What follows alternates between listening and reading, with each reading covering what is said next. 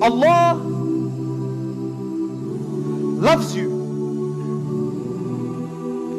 And Allah wants to hear your voice according to Rasulullah 100 times a day, minimum.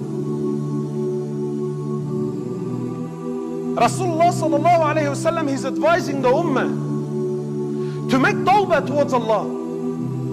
And this is a quality that is dead. Or if it's not dead, it's very little. And really, if you look at your life, ask yourself, just how much do I repent towards Allah subhanahu wa ta'ala?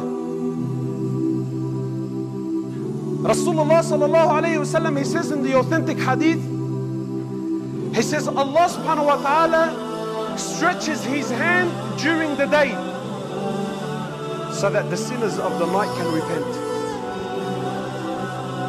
And then Allah the Almighty stretches his hand during the night so that the sinners of the day can repent. And Allah will continue to stretch his hand during the day and the night till the sun rises from the west, meaning the day of judgment. Allah subhanahu wa ta'ala, my brothers, the king, the master, the creator.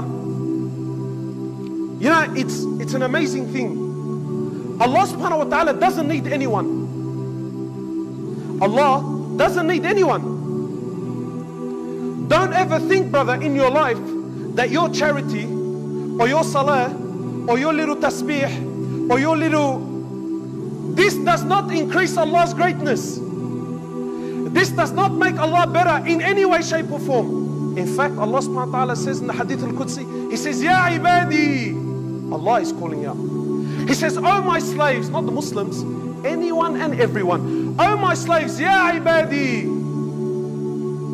لو أولكم وآخركم If the first of you till the last of you Meaning from the first human being till the last human being If all of you, human and jinn If you were all together collectively And worship me, and worship me, and worship me, and worship me Until you all come like the best heart amongst you This does not increase my greatness It does not increase Allah's greatness. In fact, Rasulullah sallallahu alayhi wasallam, yani just, just to paint the picture that Allah doesn't need our worship. Allah doesn't need our worship. Rasulullah sallallahu alayhi wasallam was sitting with his Sahaba. He says to them, you know, I see what you don't see. And I hear what you don't hear. He says to him, verily the heavens have squeaked. The heavens, the sky, the heavens have squeaked. You know, when you put a lot of weight on something, it makes that squeaking sound. There's a lot of weight, there's a lot of pressure on it. He says, The heavens have squeaked. He says, For by Allah there isn't room for four fingers except there is an angel in prostration towards Allah subhanahu wa ta'ala. Does Allah need me? Does Allah need the $10 I'm going to put in the box when I walk out? Yet this Allah, Rasulullah sallallahu alayhi wasallam, he says in the authentic hadith that Allah is happier. Allah is so happy when you, my brother, when you, my sister, when you make tawbah towards Allah. Rasulullah sallallahu he says in the authentic hadith, imagine. Look at the example he gives sallallahu alayhi wasallam. He says, imagine there's someone in the desert and he's riding on his camel and he has all of his provisions on the camel. And then the man takes some rest. And then all of a sudden he loses his camel.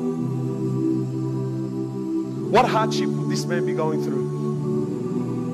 Everything, my food, my water, my transportation is on the camel. And I lose the camel. He says, sallallahu alayhi wasallam in the authentic hadith, then imagine this man was to take some rest. Then all of a sudden he was to see his camel again. How happy would you become? How happy would you be? He says, Allah is happier than this man when you make tawbah to him.